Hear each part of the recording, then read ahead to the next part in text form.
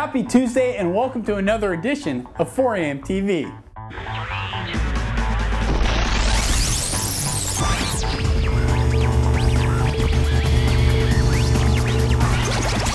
When the Seattle Convention and Visitors Bureau decided to honor someone for their first Lifetime Achievement Award, the choice was pretty easy.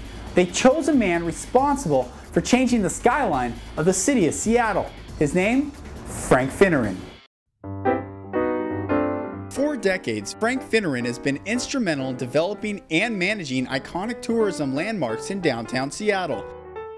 Initially making his mark in Seattle as general manager at the Olympic and Westin Hotels, after previous positions at the Plaza in New York and the St. Francis in San Francisco.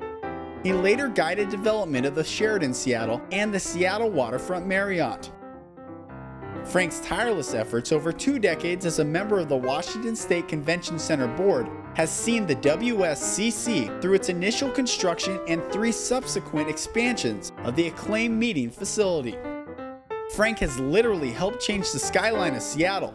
In fact, he's also served as Chief Operating Officer of the Space Needle.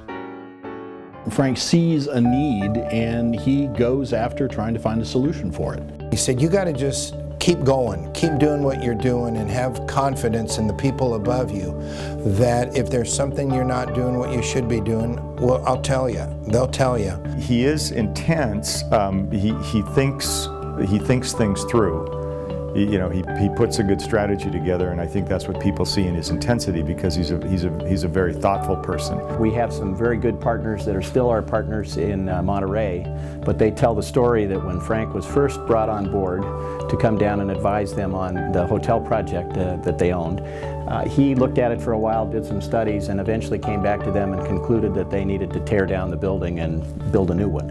And half of the guys walked out of the room on him at the time. They eventually agreed to do it and they're very happy today. Growing up in Florida, Frank started off early in the hospitality world, doing some unusual tricks. He really got his start in the hotel business as a clown diver. He was a what you'd call a cabana boy servant at a hotel in Florida on the beach. And at X seven o'clock or eight o'clock at night, the, the, the Cabana guys would do a clown diving show and they would jump off the diving boards and land on other diving boards and the roof and into the trees. And on a number of occasions I think that him his part was running across the roof and diving into the pool off there. And he I think at least one occasion fell through the roof into the snack bar during the show. And he also pioneered one of the greatest tricks of all times off a diving board. He would dive off the diving board with a cigarette in his mouth, and at the apex of his dive, pull the cigarette into his mouth and go into the water and come back out, flip the cigarette back out, and continue smoking it.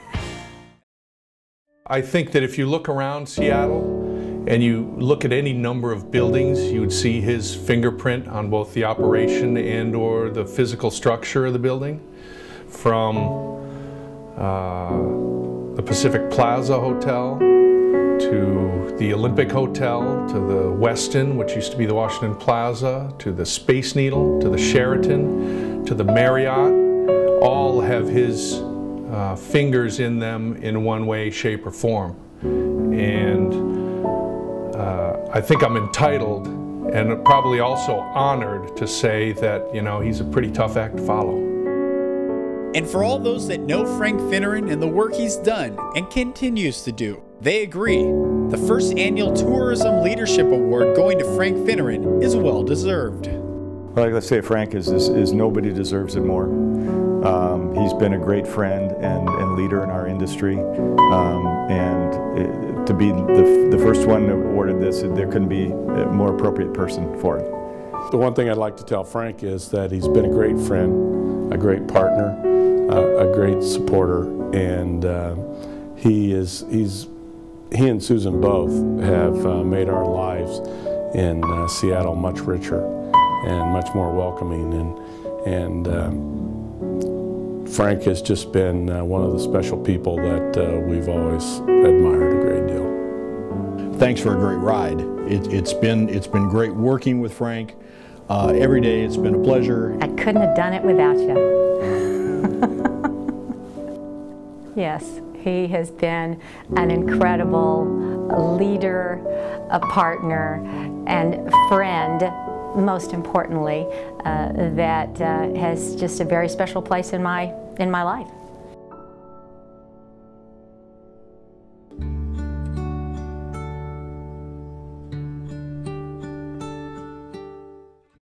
It was pretty emotional to watch as we played that video at the convention center in front of Frank and thousands of people who honored him. Congratulations, Frank. Well, coming up next week, we're going to highlight our own backyard, the city of Bellevue, and showcase the Bellevue Downtown Association. That's next week on 4AM TV.